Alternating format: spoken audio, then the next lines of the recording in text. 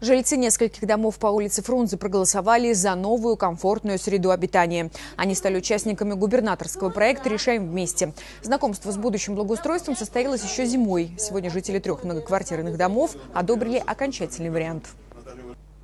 Чем больше будет положительных, э, так скажем, поднятых рук за проект, тем, значит, у нас с вами больше шансов на э, участие, положительное, значит, одобрение нашей заявки. «Решаем вместе» – проект, которого никогда не было в Ярославской области. Он инициирован главой региона Дмитрием Мироновым. На цели благоустройства территории будет выделено около 650 миллионов рублей. Людям проект не нужен, проект необходим. Я думаю, теперь, благодаря тому, что такие проекты на территории Ярославской области реализовываются, э, качество жизни во дворе и в прилегающей территории действительно улучшится.